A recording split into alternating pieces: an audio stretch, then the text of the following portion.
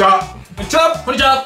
はい。もう野球界ホームランが増えてます。やっぱフライボール革命っていうのはさ、はいやっぱりそうですか。まああのこの前坂本に聞いたんだけど、はい。やっぱ煽るように多少打つと、はい。上から叩くとか、はい。そういうのはあんまり考えてない、はで宮崎もそうだったよね、メジャーもそうだし、日本もホームランが増えてる、はでメジャーの傾向からするとそれに伴ってデッドボールが増えてるっていうなぜかというと、はやっぱインサイドに行かないと、はい。抑えきれないっていうもうデータが出てるらしいんだよ、はだからそれに伴ってのそのデッドボールの増加っていうのがはあるんだよね、だから日本でもホームランがこれだけ出てるっていうことは、これからやっぱりインサイド攻めができるピッチャーじゃないと勝てなくなるということ。おだからそれによっての配球がインサイドに偏る傾向が出てくるという、この辺とか増えるんじゃないですかいやだから村本行ったりだとかまあインサイド攻めだよね。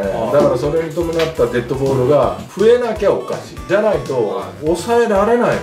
そうなってくると乱闘が増えるんじゃないか。あら本当に乱闘本当に減ったなっていうイメージありますもん、まあ、乱闘待ってるファンも正直いますから。ねまあね。おっしゃみたいな。いややっぱりさ、はい。死活問題をかけて戦う。そういったことが勝負の世界じゃないうん。そうなってくるとやっぱ乱闘もインサイド攻めによって増える可能性がある。まあそれを待ってるわけじゃないけど、だからまあそういうことも起きてくるかなという予想だよね。まあでもそういう、まあ、戦術というかねそれを使わないと勝てないっていうふうになってきたらやっぱりどうしてもデッドボールもピッチャーもやっぱ勝っていかなきゃいけないわけじゃない、はだからそういった意味ではインサイドが増えないとおかしいよね、うんやっぱバッターは進化していってる。はピッチャーの攻めは進化ないって言えばさ、はい。それはもう打たれて当然だ。よ、まあ確かにだってその攻めを打てるためにホームランを打つためにみんな練習してる、い、それを防ぐためにじゃあどこを使っていくかっていうのは、やっぱあとはもうバッテリーが考えることだよね、うん。だからあの菅野の球を持ってして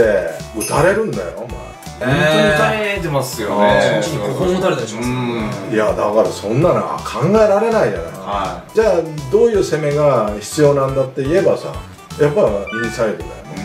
うん。だから今メジャーで言われてるのはインサイドをフォーシーム。ははもうツーシームとか中途半端な球じゃないんだよ、い。はだからもうここでファール打たして、はカーブで打ち取るという。いおおこういうのが投球パターンになってきてるんだよね、だからこれからまああの視聴者の方ね、インサイド攻められないピッチャーはやっぱ勝てなくなる。まあそういうリードを含めてではい。きるキャッチャーがやっぱマスクをかぶるべきだよね。確かに。それに伴ってはい右でやるけど、はい。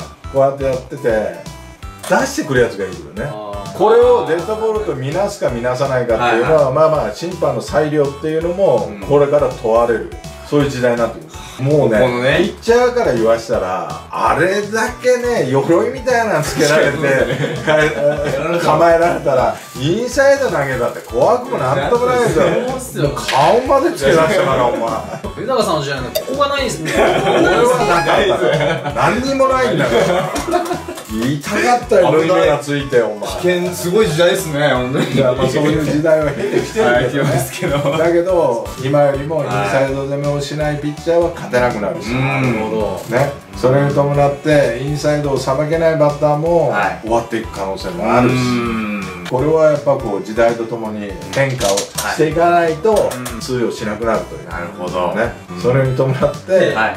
乱闘がなんとか増える可能性がある、あ 機動隊みたいなあの盾とかも出てくるかもしれない。やっぱね昔の選手っていうのはインサイド攻めに怒ったんだよ、うん。当たってもないのよ。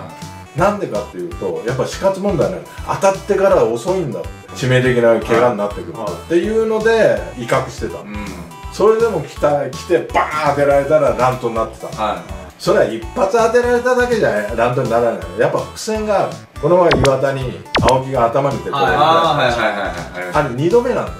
去年も当てられてるから、はいはだから青木が怒るわめちゃくちゃ。けいや1回じゃ怒らないからうん。でも2回3回来たらさそりゃやっぱり狙われてんじゃないかとも思うよね。だから怒るわけだ。よ、うん。でもそういう機会が増えるということ。うん。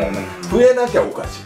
増えなかったらホームランがどんどん量産されてそうですよね。ピッチャーが泣くしかなくなる、だからまあそういう進化にも伴って、はい。そうですね。見方も、うん。ね、視聴者の見方もいやこのピッチャー勝てるなとかはい。あこのピッチャーダメだなインサイドいけないもんなっていう見方も面白いと思う、うん。楽しみに。はい。そうだね。していいのかわかんないですけど。まあね。いやいやまあそういう変化をたの楽しんじゃない。んだねどうなっていくのかっていうね。はい。はい頑張ってくださいよ。はい。はい